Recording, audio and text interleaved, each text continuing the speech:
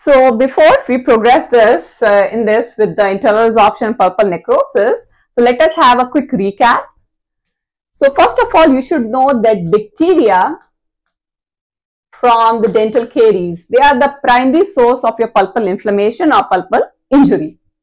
The first stage in pulpal injury will be the pulpal hyperemia, where the blood vessels supplying the pulp are getting congested with the blood.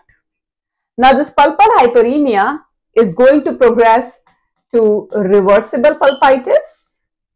If reversible is not controlled, it goes to irreversible and irreversible finally leads to pulpal necrosis.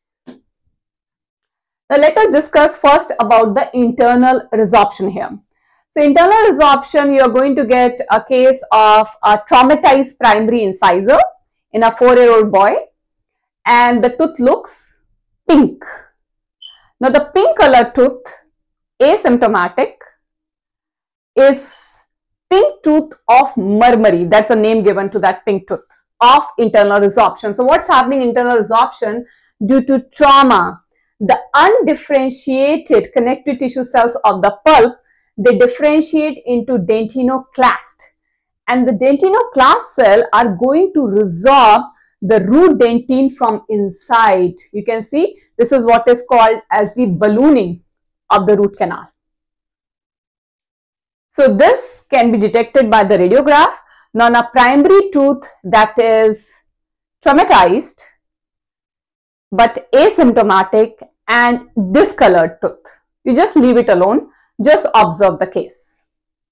However, if the tooth is symptomatic, you see periapical radiolucency has started, there is a swelling, it has to be treated with immediate RCT.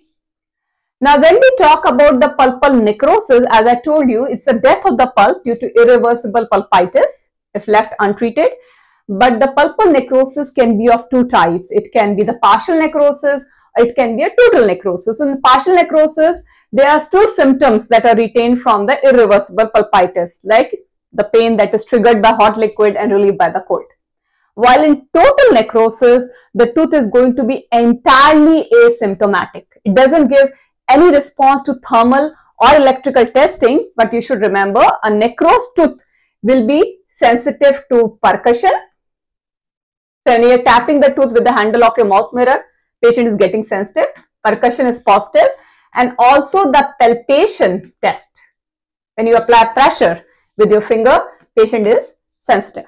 So it is for the tooth.